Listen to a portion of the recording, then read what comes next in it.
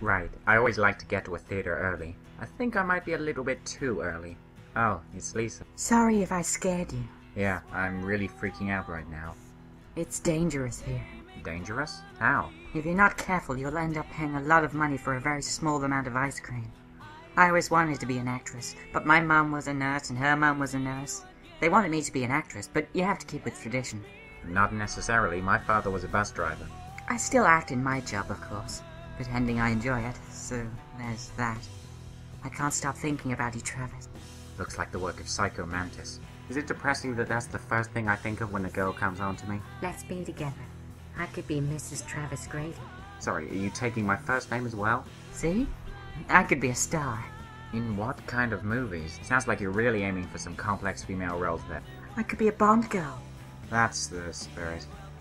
I can see you being in a movie. As only a pointless random cameo, of course. What, I say? My foot a tutor? Um, Tony? Put thy sword up, traitor. Tony? Who makest a show but darest not strike thy... Tony! Shut up! We're not rehearsing anymore. We're just trying to relax backstage. Silence! One word more shall make me chide thee, if not hate thee. How now? What is this? Oh, blood! Blood! Blood! Tony, what's wrong? Not another nosebleed. Commend me to my kind lord. Oh, farewell. Oh god, it looks like you've got a case of overacting. Is it serious? Oh, it's serious. It's fatal. And also very contagious. Contagious? Contagious. No! Be not afeard. I think I have every right to be, strange godlike voice. The isle is full of noises, Well, there's no room for your monologue then. See you. sounds and sweet airs that give delight and hurt not. Sometimes a thousand instruments will hum about my ears, Wow, actors really are overpaid. and sometimes voices, Yeah, I get that too.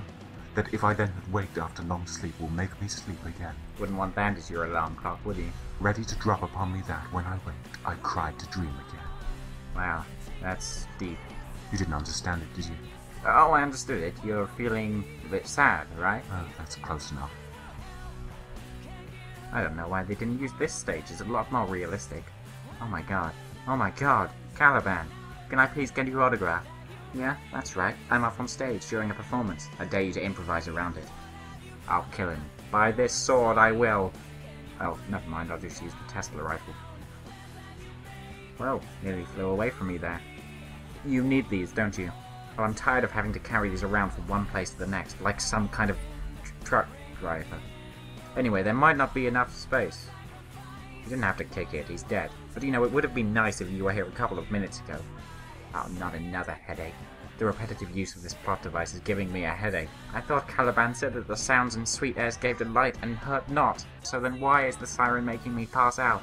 Must sleep outside box office to get good tickets. Yeah, I'm the first in an absolutely massive line. How did I get here? I passed out and I don't remember any of the play. Must have been a really great night. No, maybe not. Are those tire marks? Did I run him over in the theatre? That's just impolite. Riverside Motel. I think I've been there before. Oh, wait, that was Lakeview Hotel in Silent Hill 2. That's weird. My eyeline changed rapidly a few times in the last few seconds. Seriously, that was very weird to witness through my eyes.